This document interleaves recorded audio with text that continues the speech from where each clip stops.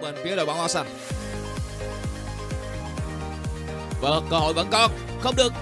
Phạm sát không thành công. Như vậy thì đã có bàn thắng sớm dành cho các cầu thủ bên phía đội bóng áo xanh tình huống ghi bàn của cầu thủ mang chiếc áo số 8 pha ghi bàn không có một pha ngăn cản chính xác của hàng phòng ngự bên phía đội bóng chạy gà Tuấn Thành để một khoảng trống quá lớn dành cho công bảo dứt điểm. Đã khá dễ dàng vào giữa khung thành của số 8 để mang về bàn thắng tung ra. Đội bóng cho thấy sức trẻ với những bước chạy cực kỳ mạnh mẽ và chơi pressing. Và những pha lên chọn vị trí rất hay để đánh chặn một cách chủ động và đây là làm cơ hội nữa dành cho Moonlight MC pha những điểm tiếp theo. Liên tục những pha gây uy hiếp về phía khung thành của thủ thành Tuấn Lộc. Thủ môn bên phía đội bóng chạy gà Tuấn Thành đã phải rất vất vả với những pha dứt điểm liên tiếp của đối phương. Pha bảy người tốt đang có thể sẽ phải thủng lưới thêm. Một pha bóng cắt ngang mà khung thành rất nguy hiểm nữa và Nguyễn Tỷ vẫn đang rất cố gắng. Cơ hội vẫn còn. Rất tiếc là pha kết thúc tiếp theo lại không chính xác dành cho các thủ chạy gà Tuấn Thành nỗ lực ra sân là của Minh Khôi. Số 9 cú đá thẳng. Đó là bàn thắng rất đẹp mắt dành cho Minh Khôi. Một pha đá phạt tuyệt vời với một cú bù chính diện. Bóng đi với quỹ đạo khá liền chúng ta cùng xem lại bàn thắng vừa rồi của Minh Khôi. Và dứt điểm quá hiểm hóc khi bóng gầm vào góc quá khó đá theo phong cách đá phạt trước đây mà Cristiano Ronaldo thường hay thể hiện. Và bây giờ có thể sẽ là một tình huống thực hiện phạt cửa lòng không được. Và dứt điểm của cầu thủ mang số 9 lần này bóng đã đi ra ngoài. Trước đó thì anh đã thực hiện cú đá theo kiểu xuống bóng úp bù chính diện. Lần này làm pha khứa lòng chuyển phần cách đá phạt của mình. Một cơ hội nguy hiểm nữa suýt chút nữa thì các thủ áo vàng có được bàn thắng tiếp theo. Một sai lầm của hàng phòng ngự bên phía Moreland FC khi họ không tốt sự tua ở mặt hậu chờ đợi ờ, ở trên nét. Cơ hội nữa trở lại với các thủ bên phía đội bóng xanh. Không thành công, phản công dành cho chạy gà Tuấn thân và đây là cơ hội dành cho Minh Chiết và ngăn cản rất quyết liệt đến từ Văn Tuấn. Vẫn là pha tranh chấp chèo bóng rất hay. Điểm đủ chính xác để có thể mang về bàn thắng giúp cho đội bóng vượt lên. Cơ hội lại trở về với các thủ môn Lan FC pha ra chân từ xa, rất khó chịu. Và như vậy đã có bàn thắng thứ hai dành cho Moonlight FC rất bất ngờ. Một cú ra chân của Gia Bảo. Số 14 vừa rồi đã có một cú đá. Phải nói là rất bất ngờ khi mà cú ra chân từ rất xa. Xem lại pha bóng vừa rồi để xác định cái tên vừa tung ra cú đá. Như vậy người dứt điểm là vị trí của số 22 đó là Đức Tâm. Chuẩn bị rất kỹ lưỡng cho trận đấu này. Đây là pha cầm bóng của hữu nhân. Một chiều dài khá chính xác. Cơ hội để dành cho công bảo. Dứt điểm không vào một pha ra vào hợp lý của thủ thành bên phía đội bóng chạy gà của các thủ bên phía đội bóng áo xanh. Chúng ta cùng xem lại pha xử lý khá khéo léo của công bảo nhưng anh không xử thể đánh bại được giả bảo bóng được trả lại tuyến hai kết thúc ngay không vào bóng vừa rồi có vẻ như đã khẽ chạm vào sang ngang khung thành và phối hợp và những tình huống dứt điểm đầy uy hiếp đến từ các chân sút của đội bóng Moonlight FC và chúng ta hãy cùng xem dõi lại tình huống kéo bóng nhả lại tuyến hai vừa rồi và pha ra chân hết sức bất ngờ với một cú đặt lòng. Một lần nữa thì thủ thành không có được pha chạm đầu vẫn còn cơ hội.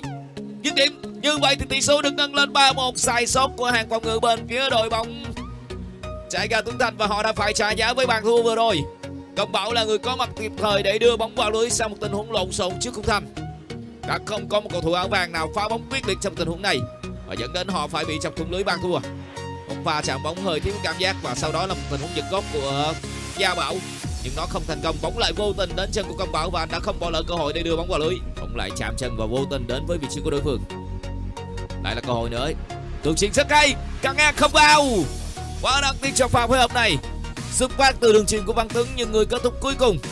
Chúng ta cùng xem lại đường truyền của số 79 và pha đưa bóng vào cột hai rất chống chạy dành cho Nguyễn Tỷ kết thúc.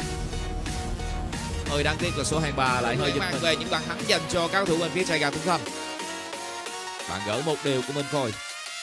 Nó chưa đủ số 59 cầm bóng cơ hội tiếp theo dành cho các thủ vàng chập khe rất chính xác. Đập nhã không kịp.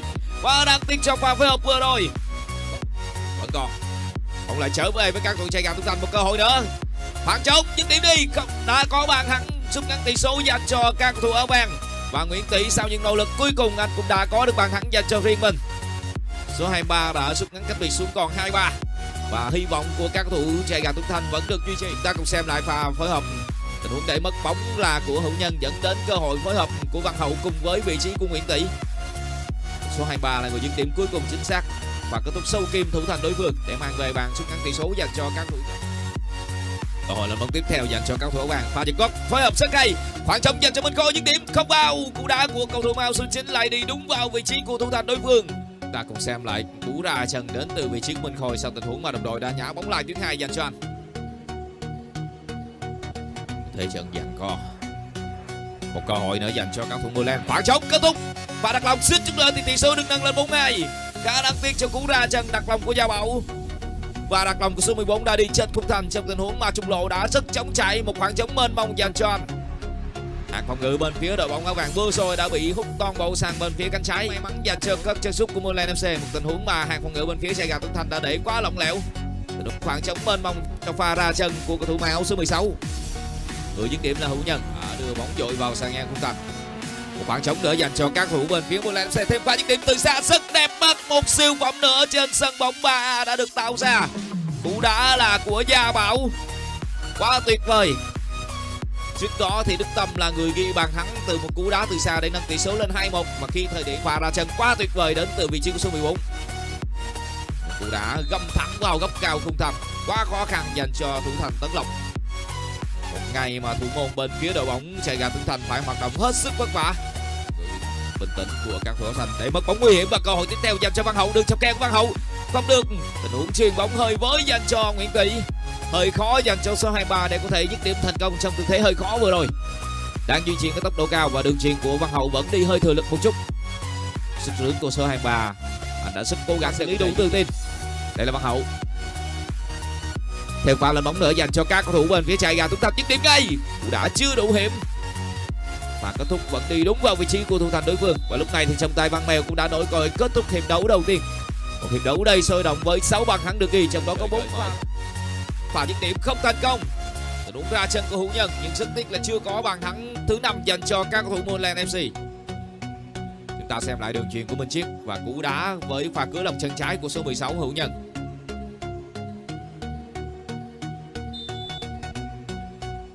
Quả đá thắng cú đá lần này của Minh Khôi đi không chính xác.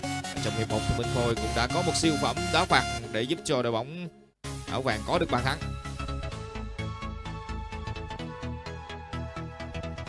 Cú đá dội vào cột dọc khung thành. Rất đáng tiếc các cầu thủ bên phía Moreland FC xước chút nữa đã có được bàn thắng thứ năm. Và lại là những cú đá từ xa cực kỳ nguy hiểm. Chúng ta cùng xem lại pha dứt điểm này. Của bù chính diện nữa của Trần Súc mang áo số 8 chỉ của công bảo cơ hội tiếp theo. Căng ngang rất tiếc vẫn chưa có thời cơ vẫn không vào. Và những điểm cẩn thận trong qua bóng lộn xộn cũng đã cuối cùng vẫn không thể đánh bại được vị trí của thủ thành ừ, Hoàng Nhân. Qua trình diễn tuyệt vời đỉnh cao giữa hai đội và đã có bàn gỡ dành cho các thủ bên phía đội bóng áo vàng. Sau rất nhiều những nỗ lực thì họ cũng đã có được bàn thắng để thu hẹp cách biệt. Đã là của Văn Hậu sau tình huống không đánh bại được thủ thành Hoàng Nhân. Trước đó lần này anh đã có một vài dứt điểm chính xác để mang quả đá phạt góc được triển khai và các thủ áo vàng đã tận dụng tốt cơ hội của mình để mang về bàn gỡ. Cú đã rất nhanh chân lần này thì đã không có một pha cản phá nào, thành công dành cho thủ thành bên phía đâu bóng. Trở về với quyền kiểm soát của các thủ áo vàng. Đường chuyền của Văn Hậu. Và chuyền bóng rất chính xác, dứt điểm không bao. Ngay cả những pha dứt điểm như vừa rồi thì các thủ áo vàng vẫn chưa thể đánh bại được vị trí của thủ thành Hoàng Nhân. Cú đá là của Thọ Cường, nhưng rất tiếc là pha kết thúc của số 7 vẫn không hạ được thủ môn bên phía. Đường chuyền lên, rất hợp lý. Một pha tấn công nữa dành cho Moreland FC không có động tác qua người thành công. Nhưng trọng tài đã. Và đá phạt tiếp theo dành cho các thủ áo xanh và dứt điểm bóng đập hàng rào. Rất chạm bóng được luân chuyển cách liên tục và bóng lại trở về với các thủ bên phía đội bóng xanh. Nhưng cú đá chân đã không thành công. Một chân cầu của những siêu phẩm. Bóng lại trở về với các thủ chạy gà tuấn thành. Và dứt điểm. Cú đá khá nguy hiểm. Suýt chút nữa thì có bàn thắng dành cho các thủ bên phía áo vàng. Và bảo qua người rất hay đối mặt không vào cuối cùng thì bóng đã nằm gọn trong tay của thủ thành bên phía đội bóng áo vàng. Tấn lộc vẫn có những pha ngăn chặn xuất sắc để ngăn cản những cú dứt điểm nguy hiểm đến từ gia bảo. Góc đá vừa rồi của số 14 cũng hơi hẹp. Cú đánh đầu rất nguy hiểm nhưng rất tiếc là bóng đã đi trên khung thành. Tình huống dứt điểm là của gia bảo. Và chọn điểm rơi chính xác của số 14 nhưng pha đưa bóng của anh vẫn không thể đưa bóng đi trúng đích. Ngờ rồi đấy mở cạnh rất chống chạy. Hữu lộc cơ hội nữa dành cho các thủ môn đen dứt điểm ngay không vào. Từ các thủ áo xanh. Một pha không chế và một tình huống dứt điểm được đưa ra ngay lập tức. Và tấn lộc một lần nữa đang cho thấy được sự xuất sắc của mình. Và cản phá bằng chân rất chính xác. rất khéo léo. Minh Chiết quả tạc còn khai không được. Tình huống băng cắt nhưng không có điểm chạm đầu của số 4 Hữu Lộc. Quá đáng tiếc cho pha di chuyển và tình huống xử lý vừa rồi. Một pha chọn điểm rơi không chính xác của số 4 nhưng của Đức Tâm dành cho Hữu Lộc. Pha dứt điểm ngay và đã có bàn thắng dành cho số 4 rất bất ngờ một cú đá từ xa nữa đã đánh bại được hàng thủ bên phía đội bóng ra Tuấn Thành và cách biệt hai bàn một lần nữa được tạo ra. Trong tình huống kết thúc này bóng đi không quá căng. Và không quá hiểm khi mà vị trí nó tìm đến cũng khá gần với tấn lập nhưng pha đổ người của thủ thành mang áo số 1 lại hơi chậm đường pha chọc khe à? rất hay văn hậu đường chuyền hay dứt điểm không vào ở cự ly gần nhưng các cầu thủ bên phía đội bóng áo vàng vẫn chưa đánh bại được vị trí của thủ thành đối phương. Tuấn Vũ là người vừa có cơ hội kết thúc sau hai đường chuyền của hai cầu thủ bên phía đội bóng. Chạy ra Tuấn Thành đầu tiên là pha mở bóng của Văn Hậu và sau đó là đường chọc khe đến từ vị trí của Minh Khôi.